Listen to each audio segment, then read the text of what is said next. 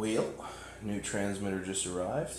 Uh, I love how this updates. It's nothing like the uh, Hubsan products.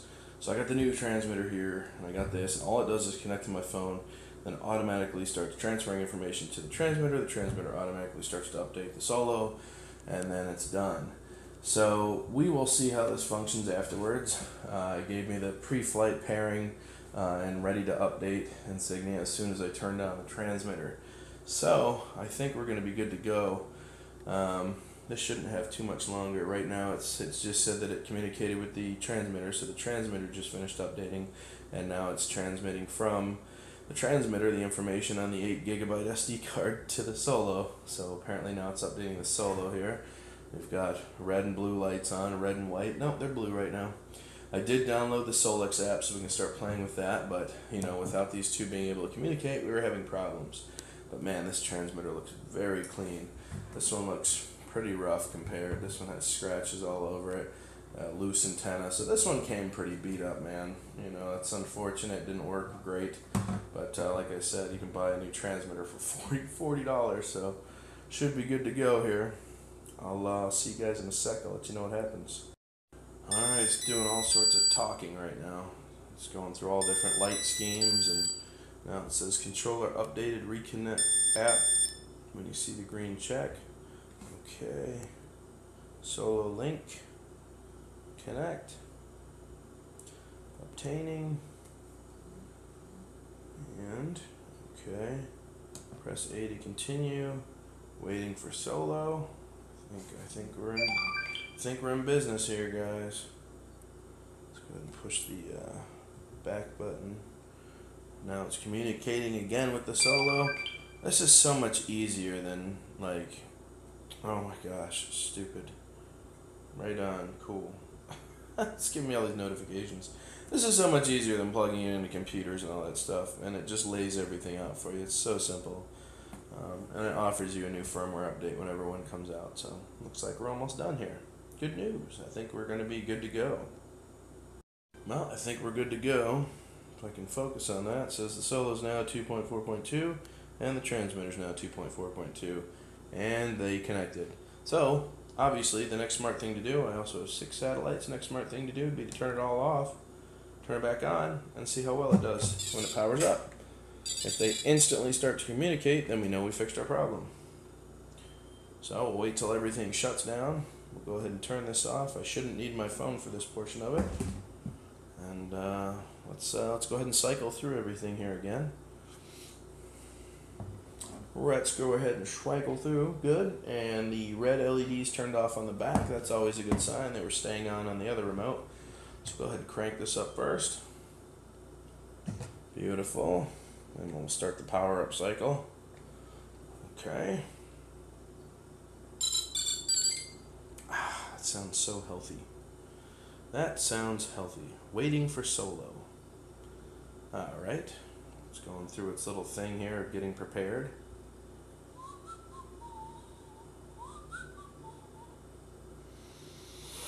And they connected. Look at that searching for GPS.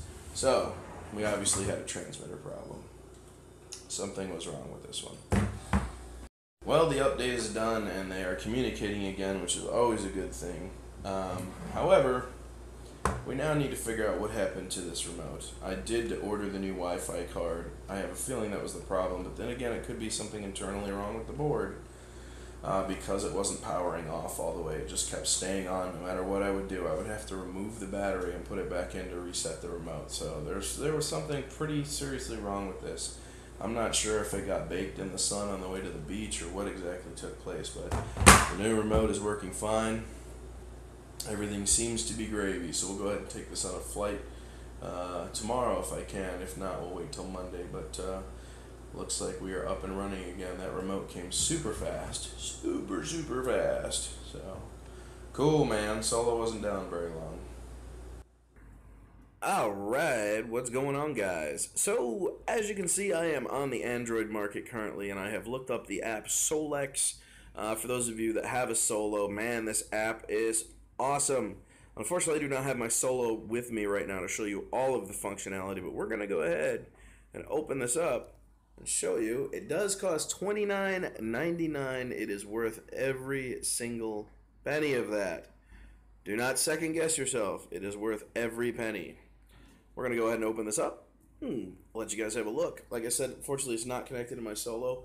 Uh, whoever designed this app did a very, very, very good job. Um, they thought of all the extra features. Now, as you know, you can use the Tower app separately to make it autonomous, but he gives you that feature in here if you would like to spend another $19.99. So altogether, for 50 bucks, you can have the entire package, or you can spend 29 on this and download the Tower app, which I suggest doing. Um, I'm probably not going to buy the autonomous features inside of this app, but as you can see, it has a little bit of everything, and he is very, very forthcoming with you. Experimental app for APM drones. Arduino, Arduino! I love it, man. I had a 2.0 on my, um, let's see, Cheerson CX20 ran on that, so I loved it. But this has all sorts of freaking features. No joke. There are tons and tons and tons of stuff you can set up for each person that flies. It's just it's the the abilities of this are ten times better. And and look at look check this out. You even have OSD on screen display. Look at that. If the camera was hooked up right now, it would look beautiful.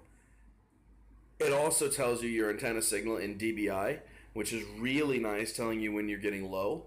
Um, I will love to check the Alfa antennas when I get a chance here, but I'm um, just kind of showing you guys a little bit of uh, how this works, how much you can actually adjust. We're going to go to controls. I can adjust the lights, party mode, breathe, white, yellow, backwards aviation, yellow rears, reset. Like this, the, the, the features this has is crazy how much stuff is actually on here, man. Um, and I have not really had a chance to mess with any of this stuff. But I can tell you right now, you have a ton of speed settings, altitude, distance, and I found out that my drone, right, my uh, solo pegged at 306 and I'm sorry, 3,265 feet, which is what the standard solo app would allow me to go to. It stopped exactly at that. With this app, you can turn that off. I didn't realize that that was what it was set for, for the furthest distance you could go with the standard solo app. This one is not like that. This one you can adjust it to however you freaking want to. So, um, gotta give it up to open source, man. Big fan of open source. Love me some open source. I have not had a chance to go through any of this stuff. There are so many settings. The regular solo app is so plain. We're gonna we're gonna go ahead and pop that up for you too, so you can see the regular solo app. Um, and the differences. So you had Solex and now you had Solo. So this is the standard solo app. Looks pretty nice, but let's go to Fly Zone, Fly Solo, and just show you how basic it is. There you go. That's that's the basicness of it.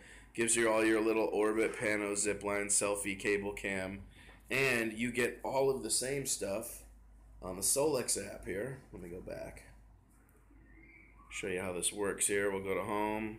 Actually, let's go to camera features because I think there you go. Orbit, selfie, follow optical, follow record, follow remote, follow me, zipline panel, cable, HDR photo.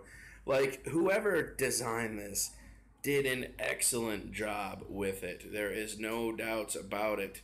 This is awesome. Pure and utter awesomeness.